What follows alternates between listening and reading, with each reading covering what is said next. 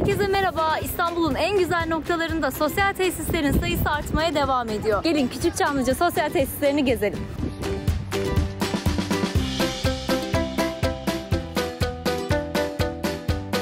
Küçükçamlıca korusu içerisinde yer alan yeni sosyal tesis geçtiğimiz yıllarda Beltür olarak hizmet veriyordu. Şimdi restore edildi ve yeniden hizmete açıldı.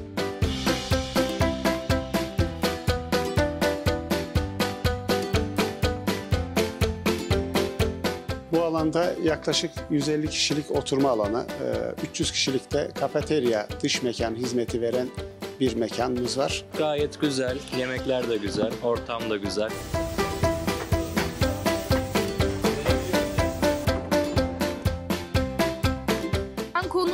Manzarasını çok beğendim. Gayet güzel. Tabii daha yeni keşfediyoruz. Nezih, sakin, kafa dinleyecek şekilde gayet güzel. Bir de doğanın içinde temiz hava. Yemekleri çok lezzetli ve makul en önemlisi o.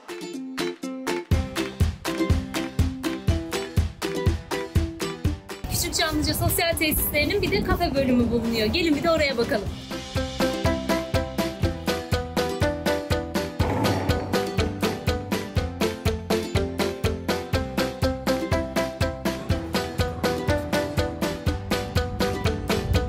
Burada sadece yeme içme değil, alanı da gezme imkanınız var.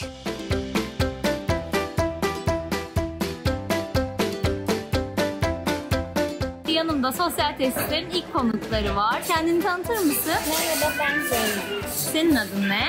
Ulaş. Beğendin mi burayı Ulay? Beğendim. Nasıl? Çok hoş. Manzarasını çok sevdim.